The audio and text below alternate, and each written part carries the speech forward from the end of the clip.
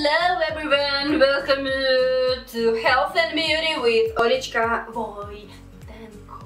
In this video, let's talk about what am I doing to my thin hair to have it large. Let me tell you. First, I'm not cutting it.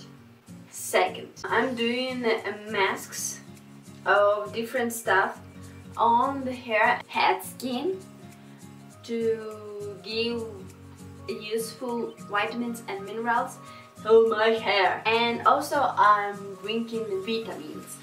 And in spite of it, the hair is goes out of the head like nuts. It's not like I'm doing all this and my hair not fell down and my ends are healthy. Nothing like this guys. You will do all these and you will have all the symptoms that every live person has. Okay? For example, uh, I washed my hair and it's a little bit like uh, oily. Why is it so? It's because I put some argan oil on it. Like just a little bit and not on the roots. No, forget about it because your hair will become like fat so just on the just like this and on the ends you know? And on the ends I did like this.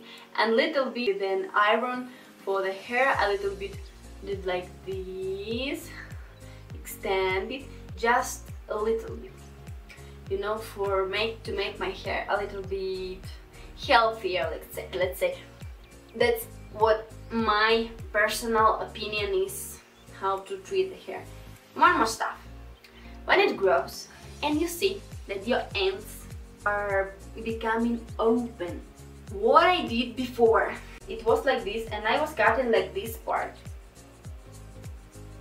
So all these I was cutting. Can you imagine?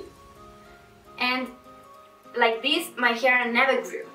But then I discovered what is the secret to not cut your uh, ends like they're like uh, already not uh, not healthy and you want to like cut them and also cut the hair like I did. Right now I'm doing it and it's working.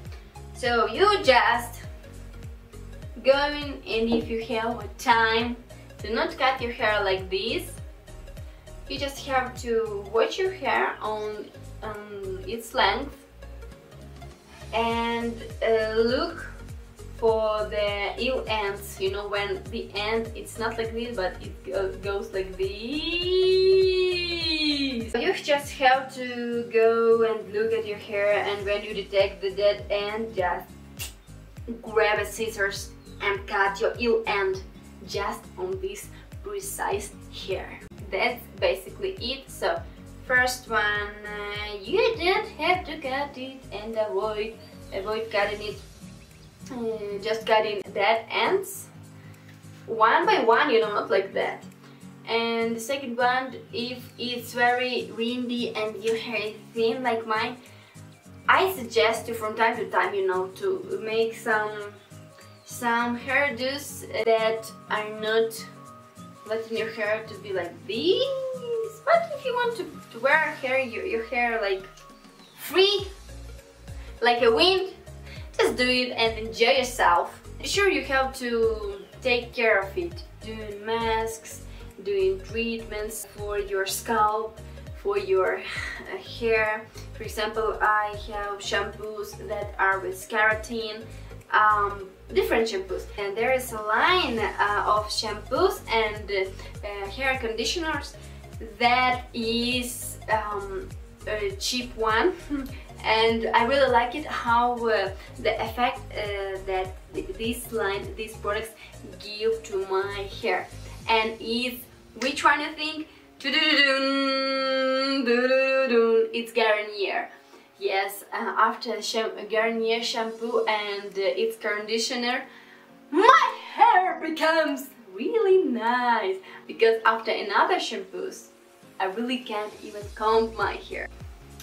Basically, it's all for this video. I hope it will be a little tiny bit useful to you because it would helps me. See me in the next video. Thank you very much guys for your support. Bye bye.